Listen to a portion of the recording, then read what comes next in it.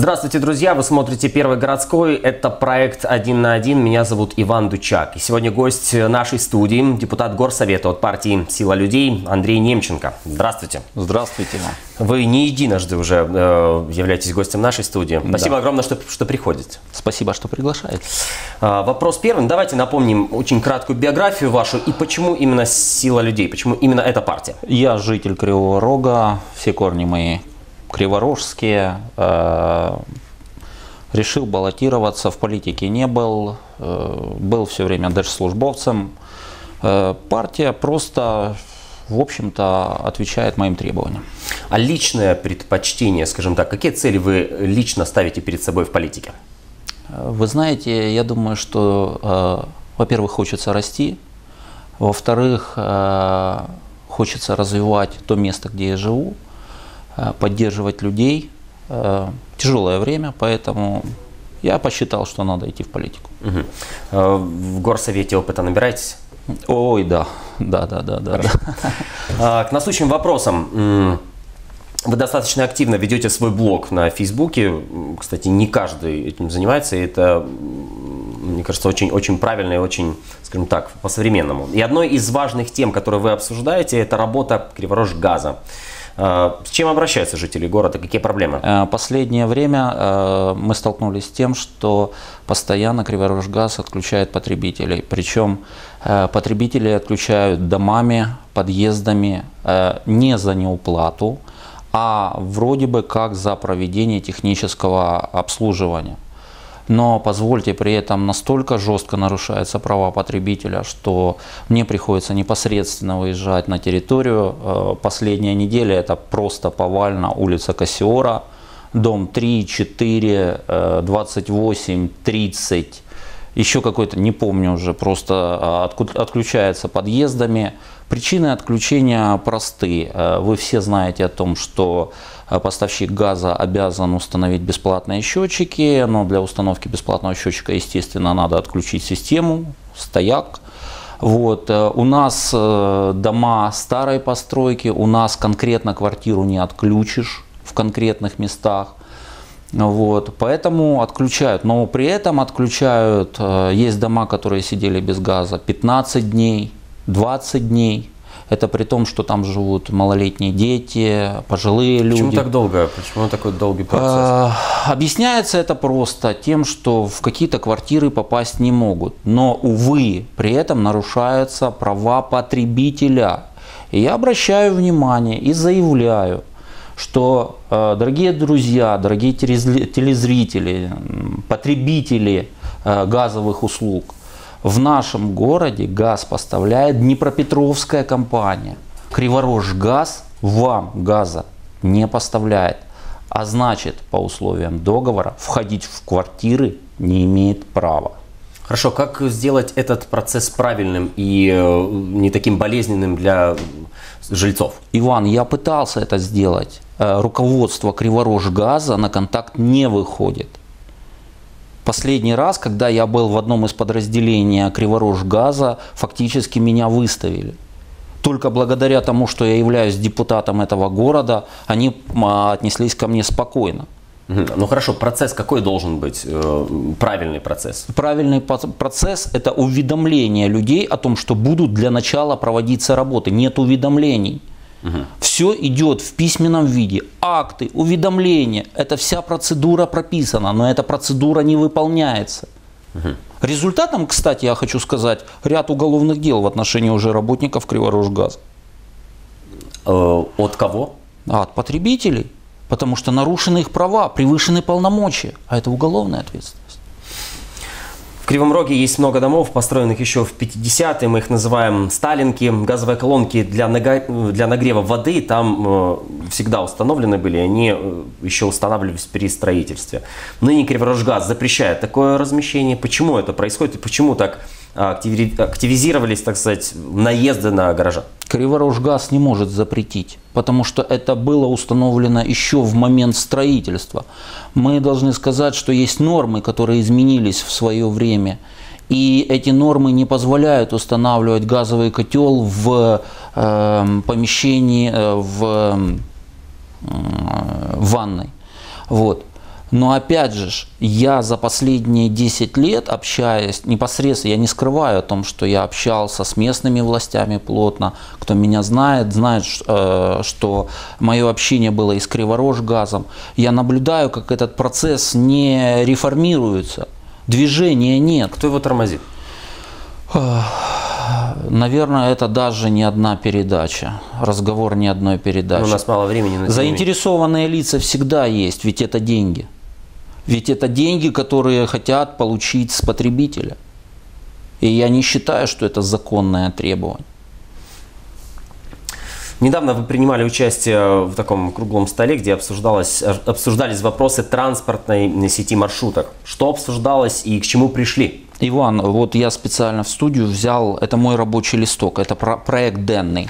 Значит, э, хотелось бы отметить следующее, что, например... В чем состоит вопрос? Давайте. Значит, давайте я в двух словах да, скажу, что это. Фактически это круглый стол.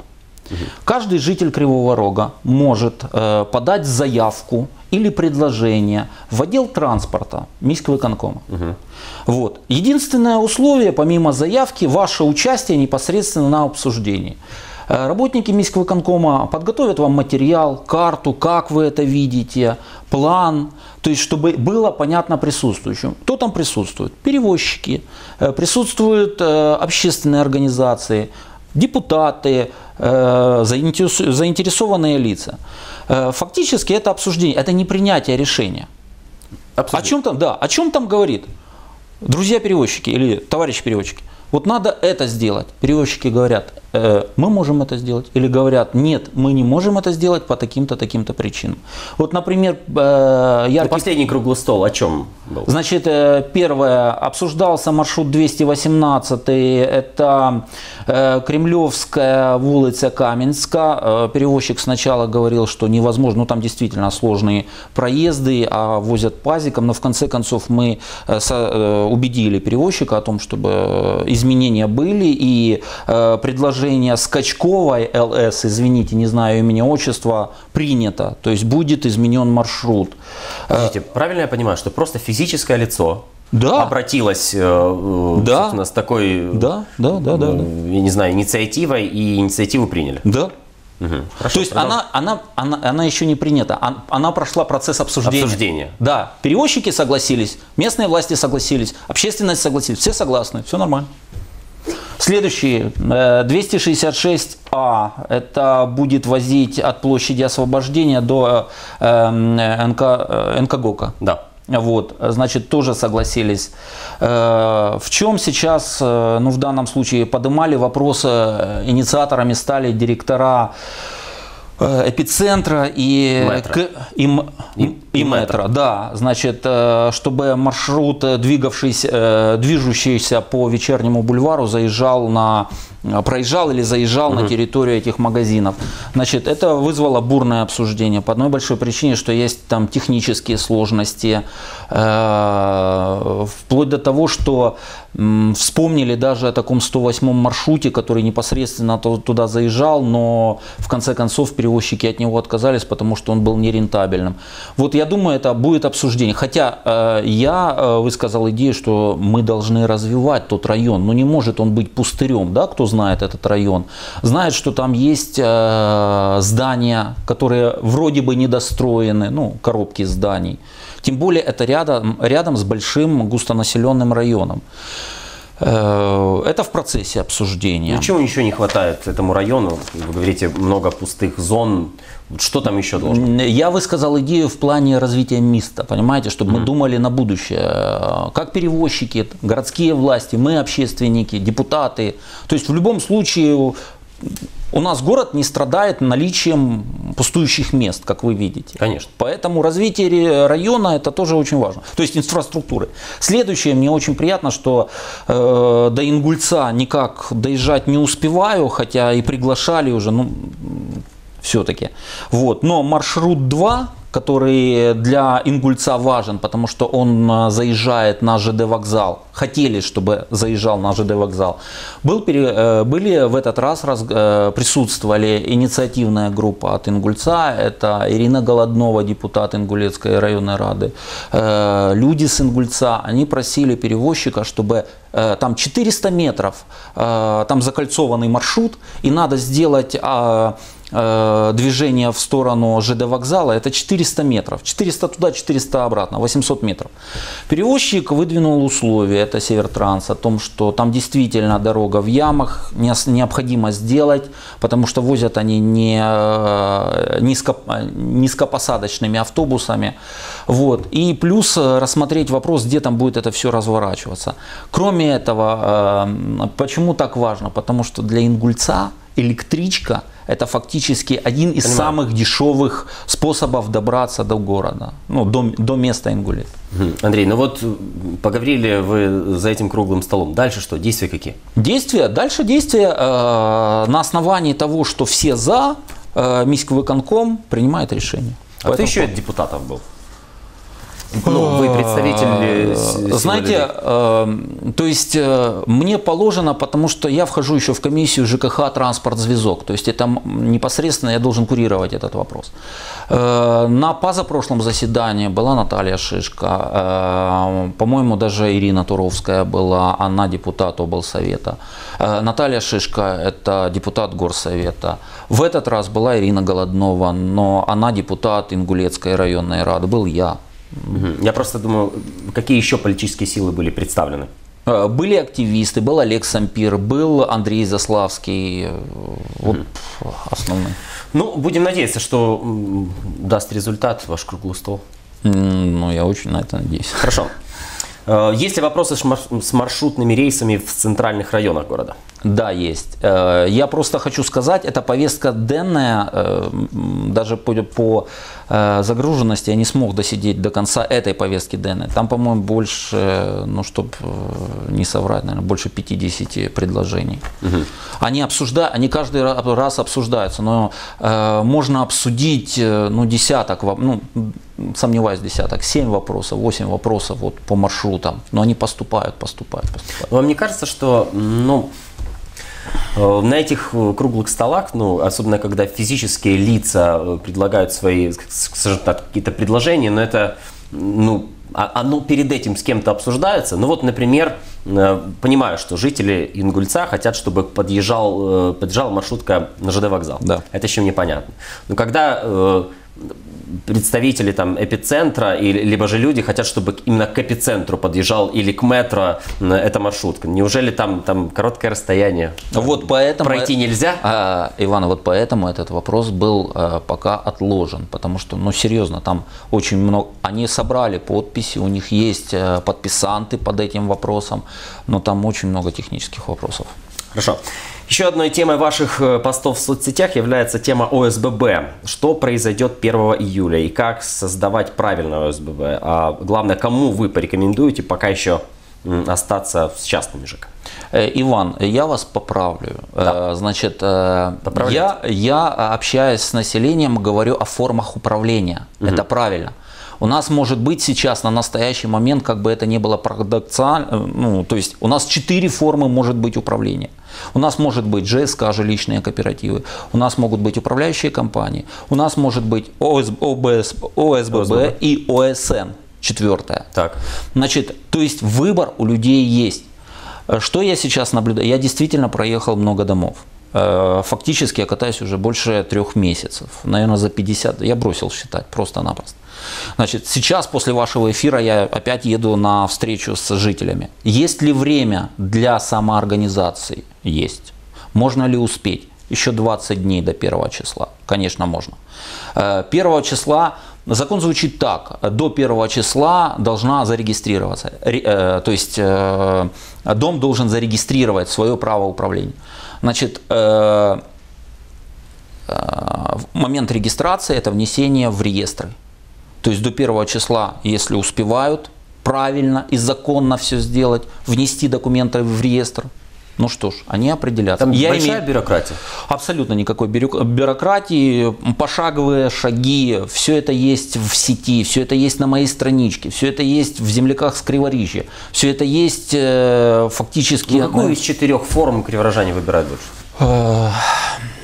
Иван, я только недавно узнал, два дня назад, о том, что вот такая форма ОСН, объединение самоуправления населения, она организовалась наконец-то у нас в городе, это межпланетная 8, но это один Один. один пример. Меня в основном обо со мной говорят об ОСББ. ЖСК, как вы понимаете, невозможна эта форма. То есть, либо люди останутся на старой форме управления, это управление, э, когда осуществляет компания, различные наши э, житловые компании, либо ОСББ. Плюсы ОСББ. Эм, Это субъект хозяйствования. Скажите, Иван, вы у себя в квартире хозяин? Надеюсь, да. Да, вот в данном случае жители города должны понять, что помимо своей квартиры, хозяина в своей квартире, ты должен быть хозяином в своем доме. Иначе, эм, но Форма не будет работать это. Э, Да, я ничего не хочу сказать сейчас в отношении, хотя ОСН тоже прекрасная форма, но единственный пример. Я э, только сейчас, только после вот последнего дня я могу взять людей, поехать и посмотреть, как будет работать а, дом. э, А смотрели уже, как работает эта форма? ОСН? ОСН? Да. Нет. ОСББ. ОСББ, ну, постоянно я могу привести э, примеры по Заречному, где я являюсь депутатом, это мой округ. Э, Все в городе знают, э, где находится на Заречном дом 57 и 58. Это одни из первых ОСББ у нас в городе, где видеонаблюдение, где давным-давно забыли об стеклопакетах, они выполнены, где ведется работа по термомодернизации, где стоит уже вопрос о замене, возможно, лифтового э, хозяйствования, где, э, например, с, э, я встречался с председателем 58-го дома, которая смотрит уже, что у ней перед домом, там кольцо, э, где разворачиваются маршрутки, и она внесла предложение, сейчас будет это рассматриваться на громадском бюджете по поводу выделения денег для строительства какой-то спортплощадки. То есть э, там, где мне рассказывали о Тухачевского 10, я, признаться честно, туда еще не доехал, но я хочу туда действительно попасть, потому что сказали, что э, вложены средства, э, передовой дом, я хочу увидеть это все собственными глазами. Эм, Очень, очень мало времени у нас осталось, но тем не менее. Первый городской конкурс для общественных организаций с призовым фондом в 10 миллионов гривен. Как вы относитесь к этой инициативе и как э, проходит конкурс? Э, Я очень внимательно слежу за этой программой. Это программа. Бюджет городской, городской бюджет выделил 10 миллионов гривен. Э, На это мы, депутаты, на это выделили 10 миллионов гривен, извините. Вот. Но э, это не единый платеж. Э, эта м, сумма делится на 200 тысяч, либо на 500 тысяч.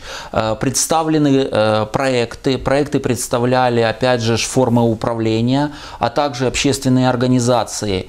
Э, проекты различные, их э, что-то до 100 проектов. Но Когда большин- результат будет? Большинство из них, 56 штук, это вот именно термомодернизация. Результат, э, сейчас проходит последняя подготовка к голосованию, потому что проекты должны соответствовать программе. Ну, признаться честно, у нас программа немножко хромает, она пе- первый раз, первый блин кому, но я надеюсь, мы почистим это все. Вот, проекты э, далее устранить недостатки. И э, я думаю, что на следующей неделе уже будет стоять вопрос о вынесении голосования населением. Решение голосует? То есть либо интернет-голосование, либо э, голосование лично можете прийти, заполнить карточку и проголосовать за тот или иной проект. Не мониторили, не было э, на скорую руку сделанных э, общественных организаций, которые Вы знаете, нет, Подготовили нет, э, какой-то проект? а, с- э, такие уже, которые устояли. Э, Я не знаю, э, насколько сейчас моя инициатива будет э, главным ведущим проекта «Один на один» Романом Малыком воспринята, но возьму на себя такую смелость. Последний вопрос у меня будет, знаете, такая новость, которая актуально, наверное, для всей страны, не только для Кривого Рога. Я просто попрошу вас дать какой, какой-то комментарий. У нас очень мало времени. 12 числа, то есть в воскресенье, пройдет, м- прям зачитаю, марш равенства ЛГБТ. Я спокойно к этому отношусь. Я понимаю, зачем это делается. Я понимаю, зачем, э, э, почему это должно происходить. Но если сравнить Европу, Латинскую Америку, Соединенные Штаты и у нас, это все э, различные показатели. Для Латинской Америки это шоу, для Европы это шоу, для Соединенных Штатов это показание того, что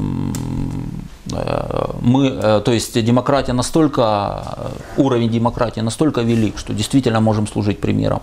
Для нас это показатель нашей лояльности, а также, возможно, билет в будущее. Угу. То есть как к нам отнесутся европейцы? В Кривом Роге возможен такой марш? Не знаю. Успехов в работе. Только Спасибо. одно хочу э, пожелать вам. Друзья, это был проект 1.1. Меня зовут Иван Дучак, а в гости нашей студии сегодня был депутат Горсовета от партии «Сила людей» Андрей Немченко. Оставайтесь на Первом городском, чтобы ничего не пропустить. Увидимся. До свидания.